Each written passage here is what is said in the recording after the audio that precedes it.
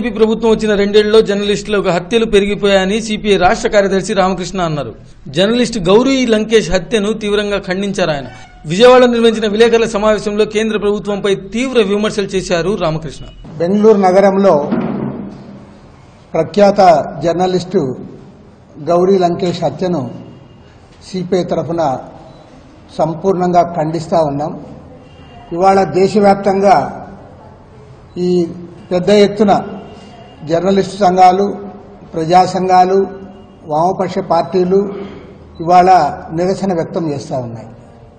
కేంద్రంలో నరేంద్ర మోడీ ప్రభుత్వం అధికారంలో వచ్చిన తర్వాత ఈ ఒక రెండేళ్ళ కాలంలో నూట నలభై రెండు మంది జర్నలిస్టుల పైన దాడులు జరిగాయి.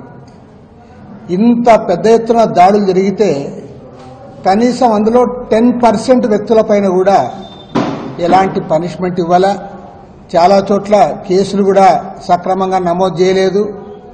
ఇవాళ జర్నలిస్టులు ప్రత్యేకించి ఇన్వెస్టిగేటివ్ జర్నలిజం చేసే వాళ్ళందరి యొక్క ప్రాణాలు ఈరోజు ఇదిగా పణంగా పెట్టాల్సి వస్తూ ఉంది.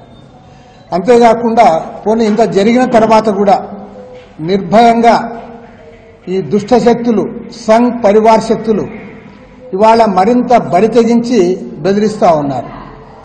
సాగరిక ఘోష్ను కవితా కృష్ణన్ను వీళ్ళందరూ కూడా చంపుతామని చెప్పి ఇప్పటికి కూడా సోషల్ మీడియాలో ప్రచారం చేస్తూ ఉన్నారంటే ఇవాళ సంఘ్ పరివార్ శక్తులు మతోన్మాద శక్తులు అడ్డు అదుపు లేకుండా ఇవాళ సమాజాన్ని శాసించడానికి ప్రయత్నాలు చేస్తూ ఉన్నాయి. ఇది మొదటి హత్య కాదు. గతంలో ప్రముఖ హేతువాద నాయకుడు నరేంద్ర దబోల్కర్ను చంపారు. మహారాష్ట్ర కమ్యూనిస్ట్ నేత గోవింద్ పన్సరే గారిని చెప్పారు. అదేవిధంగా కర్ణాటక రాష్ట్రంలోనే ప్రఖ్యాత కవి మాజీ వైస్ ఛాన్సలర్ ఎంఎం కాల్బుర్గి గారిని కూడా ఇదే రకంగా హత్య చేయడం జరిగింది.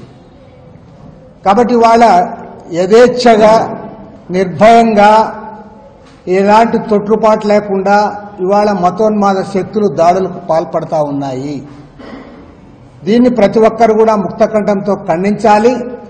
నిస్సిగ్గుగా ఇవాళ భారతీయ జనతా పార్టీ నాయకులు తమను తాము రక్షించుకునే పద్ధతుల్లో స్టేట్మెంట్ ఇవ్వడం అనేది దారుణమైనది.